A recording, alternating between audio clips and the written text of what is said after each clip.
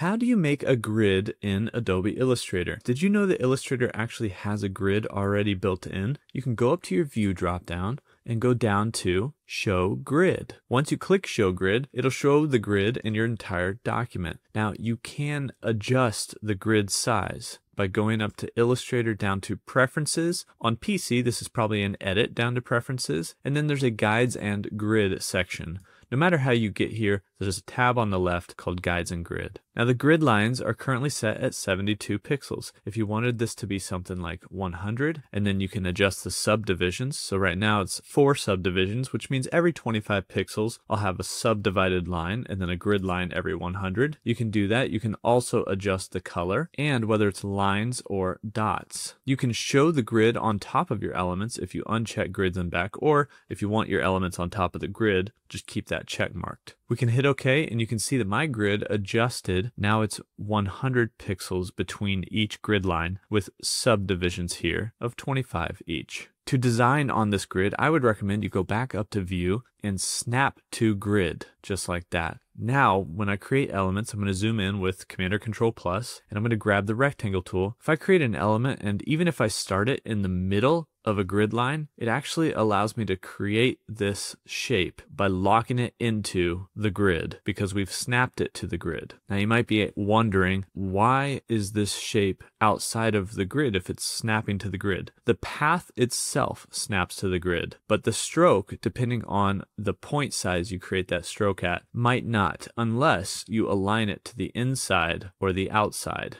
Or if you don't have a stroke and you just have a fill, you'll notice that rectangle will snap to the grid lines no matter where you pull it with that fill selected. So the path of any shape you create will actually snap to these grid lines. So that's a way to work with a grid or the grid here in Illustrator. It's basically like guides out here, but it allows you to have a grid without having to make it.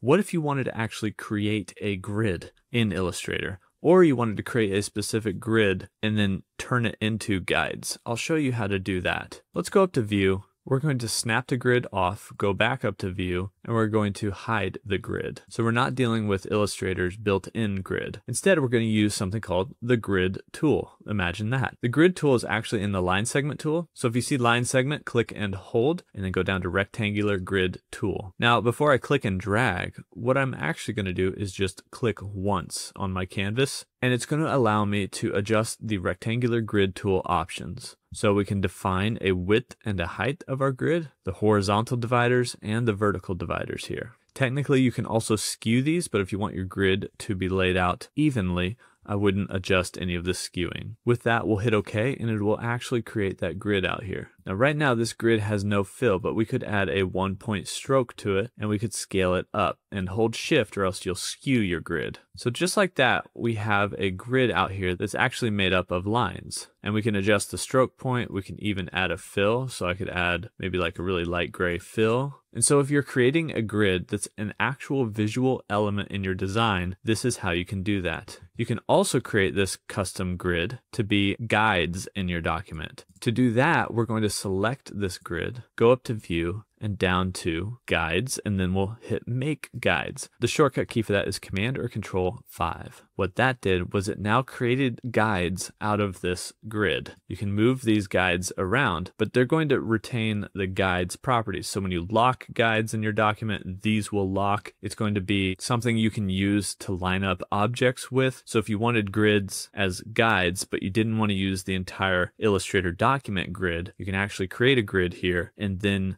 convert it to guides. So that's multiple ways to make a grid in Illustrator. Let me know if you have any questions down below.